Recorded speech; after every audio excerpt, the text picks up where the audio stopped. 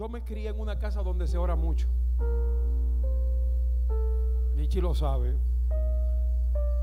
Cuando yo era niño, mi papá tenía un cuarto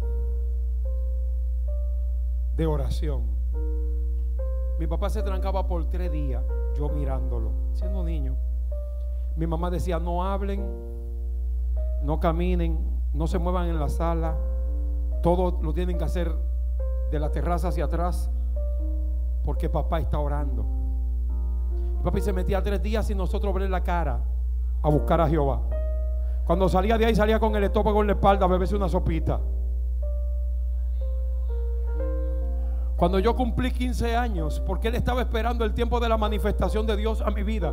Porque ya yo le he dicho mi testimonio, Dios habló con mi papá antes de yo nacer. Hay pastores hoy en día que, en ese entonces eran miembros de, de, la iglesia allá en San Pedro, el pastor Nina, la pastora Elvira Castillo, eh, pastores de nuestro movimiento que eran miembros en ese entonces. Cuando mi papá se paró en un púlpito y dijo, Dios me dijo que mi mujer está encinta cuando a mi mamá ni siquiera se le veía barriga. Y él dijo, y es varón el muchacho. Y Dios me dijo que se va, se va a llamar Isaac y que será un pastor, será un evangelista. Y cuando cuando el Señor me llamó a la edad de 15 años, mi papá me dijo, ya tú no vas a dormir allá atrás con los muchachos, ahora tú vas a dormir aquí. Y me dio su cuarto de oración y me puso que un cartón en el piso con una sábana y me dijo, tienes que orar, tienes que ayunar, tienes que meterte con Dios ahí. Así es como se sostiene ministerio.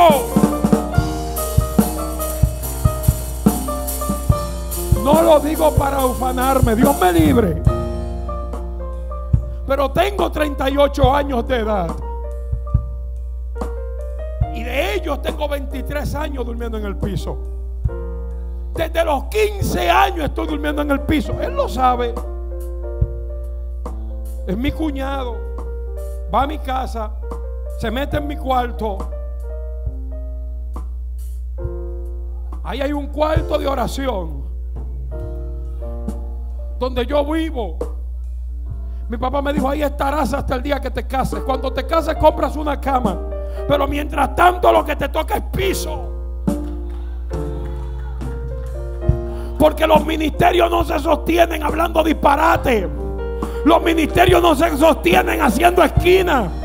Los ministerios se sostienen orando y buscando a Dios. Los ministerios se sostienen amando la presencia de Dios.